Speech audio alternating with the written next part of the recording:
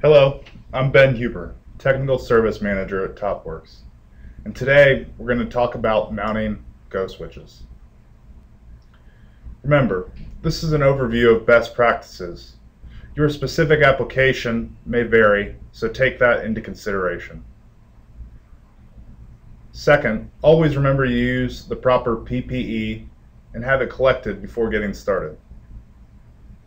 And finally, when testing or before putting into service, remove all tools and other foreign objects that may have been left behind during this installation. To get started, ensure that the actuator is clean and ready to have instrumentation installed. Confirm that the actuator is mounted or properly supported to install switches. Next, loosely assemble the stem block and its associated operating arm. The operating arm will have the targets mounted to it. Fit the stem block assembly to the stem.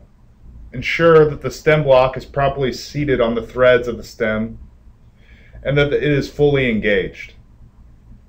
Verify that the operating arm is perpendicular to the stem. Finally, tighten the stem block bolts to the recommended torque specification.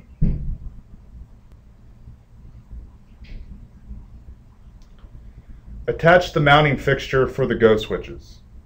At this time, these bolts only need to be hand tightened.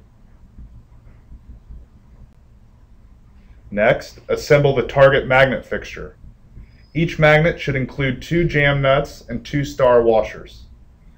Once again, these can go hand tight for now.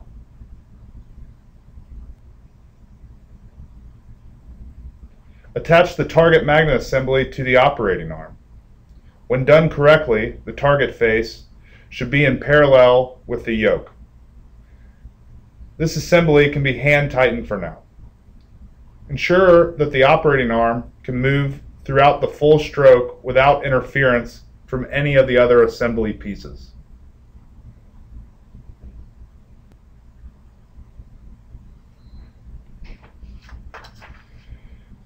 Before mounting the switch to the associated mounting plate, move the first jam nut as far down the barrel of the switch as possible. This will reduce the moment forces on the switch and the bracket once mounted, as the heavier end of the switch will be closer to the mounting point.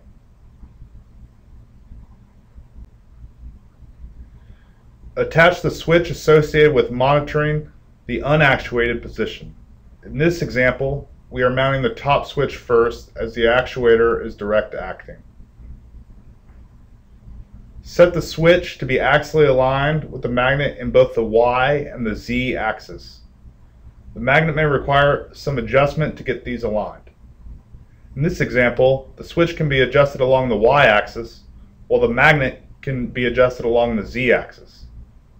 When correctly aligned, the target magnet should cover approximately 90% of the sensing space.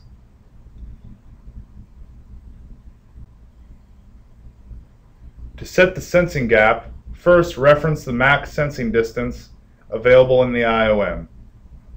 In this case, for the C7 nuclear switch, it is a tenth of an inch.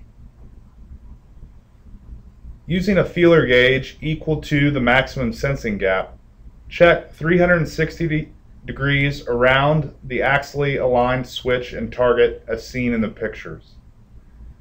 At no point should the feeler gauge come between the switch and the target. There is no minimum spacing specification, but the switch and target magnet should never come in contact with each other. However, the closer the target magnet, the stronger the contact pressure. Should the feeler gauge fit between the target and the switch, or they are coming in contact, adjust first by threading the magnet in or out based on the direction you need. The nuts for the magnet should both be fully engaged by the threaded barrel. Should you need more adjustment, you can do so with the switch. The switch, however, should be a last resort for adjustment along the x-axis as the mounting point should be kept as far back on the barrel of the switch as possible.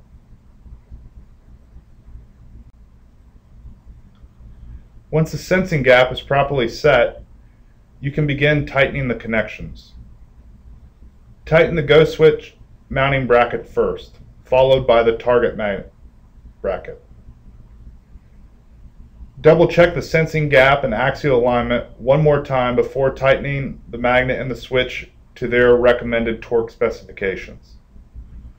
Once everything has been tightened, confirm the sensing gap with the feeler gauge and the axial alignment as well. Stroke the valve and begin installing the second switch aligned with the second target magnet. Remember to move the first jam nut as far down the barrel of the switch as possible. This will reduce the moment force on the switch and bracket once mounted, as the heavier end of the switch will be closer to the mounting point. Repeat the previous steps for attaching the second switch. Be sure to double check the sensing gap and alignment after finally tightening to specification. A full functional test will include testing both the normally open and the normally closed sides of each switch. To fully test both the normally open and the normally closed, you will need to present the target and remove the target for each. For double pole, double throw switches, you need to test each normally open circuit and each normally closed circuit for a total of four circuits. Pick one switch to start with. Connect one lead from a multimeter set to measure resistance to the common connection as designated in your IOM. Connect the second lead to the normally closed connection as designated by your IOM. Without a target present, the switch should read little to no resistance. Present the target and you should read infinite resistance or over the limit as seen in the picture on the left. Now remove your lead from the normally closed side and place it on the normally open side. Without the target present, the, the switch should read infinite resistance. With the target present, the switch should read little to no resistance, as seen in the picture on the right. Repeat the previous steps for the remaining switches. This concludes the training.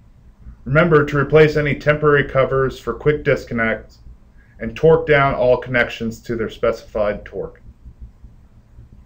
Thank you.